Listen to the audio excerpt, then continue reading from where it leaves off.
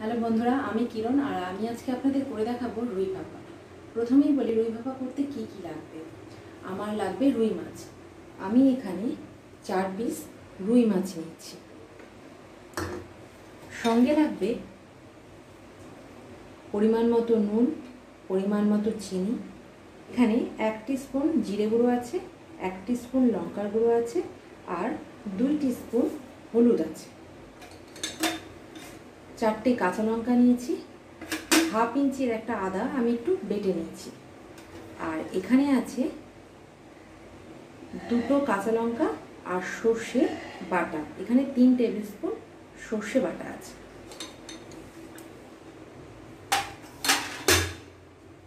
আর এর সাথে লাগবে একটু জল আর একটু সর্ষের তেল। প্রথমে মাছটাকে একটু হলুদ আর নুন মাখিয়ে হালকা ভেজে নেব, সাঁতলে নেব, খুব ভালো ভাজবো না।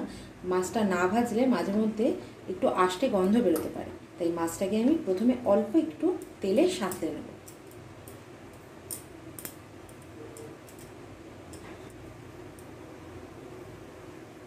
হলুদ আর নুনটা দিয়ে আমি ভালো করে মেখে নেব।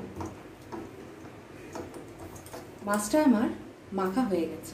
এবার আমি কড়াইতে একটু তেল দিয়ে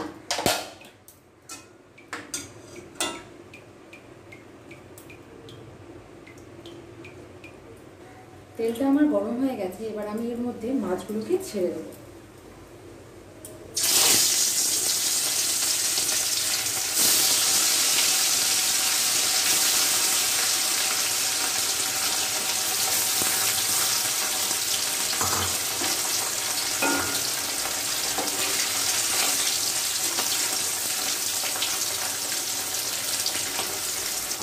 মাছগুলোকে আমি অল্প ভেজে তুলে নেব।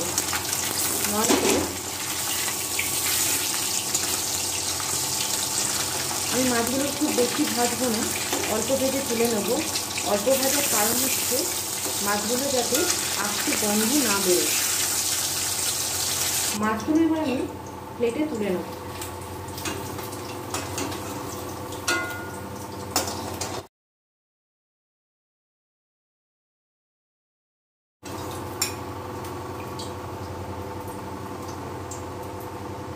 প্রথমে আমি একটা টিফিন কারি নিয়ে নিলাম। এবার আমি এই টিফিন কারির মধ্যে এই সর্ষে বাটাটা পুরো দিয়ে দেবো।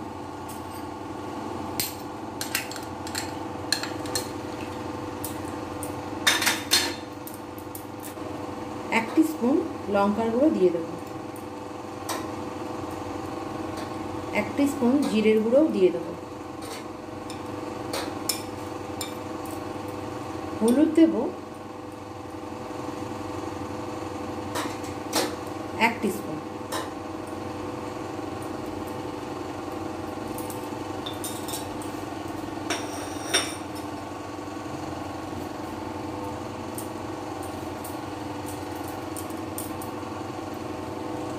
চিনি দিয়ে দেবো এক টিস্পুন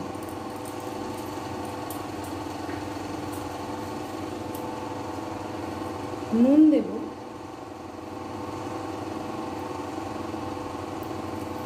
দেড় টিস্পুন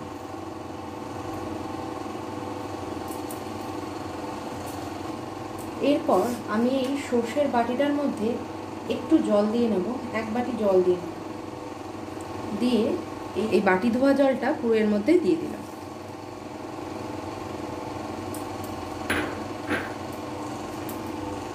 এবার সব জিনিসগুলোকে একটু মিক্স করে নেব। আর এর মধ্যে দিয়ে দেবো একটু সর্ষের তেল, কাঁচা সর্ষের তেল দিলাম আমি আমি এখানে দেড় টেবিল স্পুন কাঁচা সর্ষের তেল দিলাম।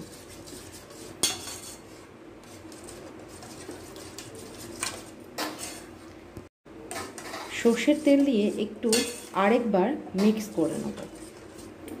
এবার আমি মাছের পিসগুলো এর মধ্যে দিয়ে দেবো।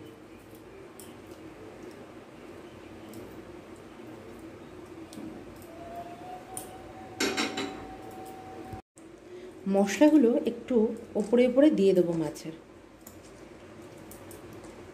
এবার কাঁচা লঙ্কাগুলো দিয়ে দেব।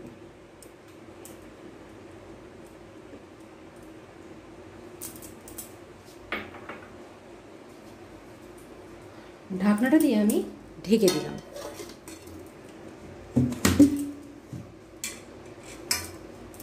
আমি এখানে একটা কড়াইয়ের মধ্যে একটু জল গরম করতে দিয়েছি, আমি এর মধ্যেই ভাবাটা করব।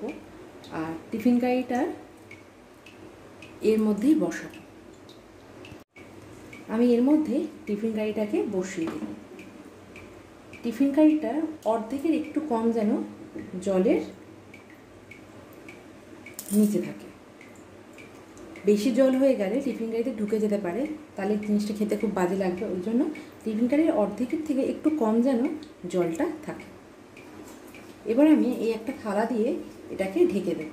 এটা ভাপে সেদ্ধ হবে। আমি পনেরো মিনিট ধরে এটাকে ভাপে সেদ্ধ করব। আমার পনেরো মিনিট হয়ে গেছে। এবার আমি গ্যাসটাকে বন্ধ করে দেবো। থালাটা গরম আছে। আমি থালাটাকে নামিয়ে নিলাম।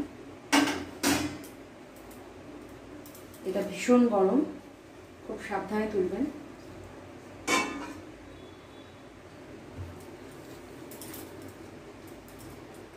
টিফিন কারিটা এখন গরম আছে, এই মুহূর্তে খুলবেন না। একটু ঠান্ডা হতে দিন, তারপর খুলবেন। টিফিন কারিটা আমার ঠান্ডা হয়ে গেছে, এবার টিফিন কারিটা আমি খুলে নেব।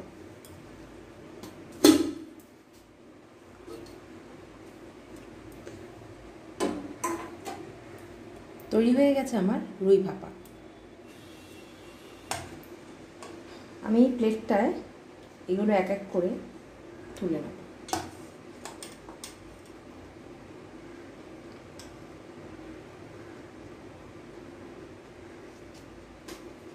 তৈরি হয়ে গেছে আমার রুই ভাপা। আমি যেভাবে বানিয়েছি, আপনারা সেভাবে বানিয়ে খাবেন। খুব ভালো লাগবে। এই রেসিপিটা যদি আমার ভালো লেগে থাকে আপনাদের, তাহলে অবশ্যই আমার চ্যানেলকে সাবস্ক্রাইব করবেন আর নিজের বন্ধুবান্ধবদের শেয়ার করবেন। আর এই ভিডিওটা দেখার জন্য অনেক ধন্যবাদ।